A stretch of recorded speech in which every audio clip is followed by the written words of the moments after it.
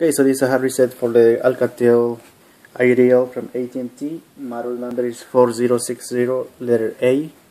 And first and foremost, we power off. Remove any SIM card, SD card to uh, save some files stored in the uh, uh, memory card, okay, external memory card. Okay. So this um, option is to remove any passcode, pattern, or password blocking the screen of the phone if the issue is, Google blocking your screen, then uh, it's very very important to understand and know that you need to know the email address from Google and password in order to uh, be able to get to the home screen after the reset. Okay, so we'll definitely gonna remove the password. I mean Google blocking the screen, but you need to confirm the account uh, after you finish the reset. Okay, when you get the home screen, register language and so on. Okay, so uh, if you don't have the account so you won't be able to use the phone. So please uh, don't uh, do the reset if that's your case. But if the screen is blocking with pattern uh, password passcode then yeah we're gonna go ahead and do that process. Gonna with the phone power off you're gonna use volume up power key. I'm gonna hold these two buttons together and as soon as the Alcatel logo appears on the screen you're gonna release power key uh, continue holding volume up okay until you get a recovery uh, menu on the screen then release the volume up okay? Okay volume up power key. Release power button continue holding volume up.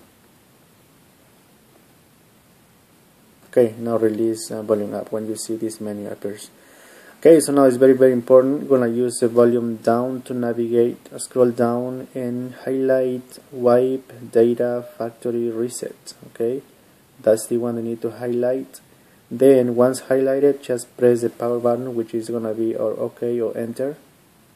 Okay next step is uh, scroll down and select yes delete all user data. Basically that's the only option that you can select. So which is a letter the word yes.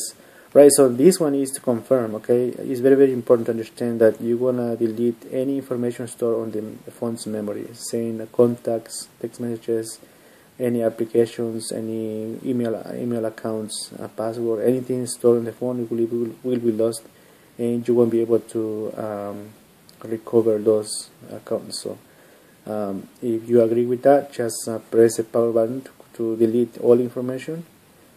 Okay?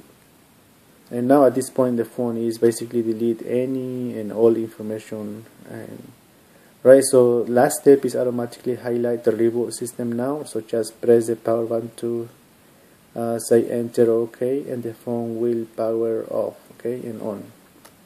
Alright so now it's going to take a few minutes uh, for the phone to completely uh, restore and take us to the home screen to uh, select our language, the language, uh, Wi-Fi or if you have an AT&T SIM card which is active just go ahead and insert the SIM card in order to um, detect the network for internet okay?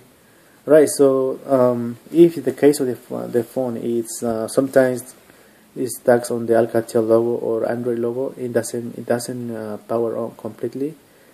So is that your case? Just remove the battery. Uh, if after 5-8 minutes is still on the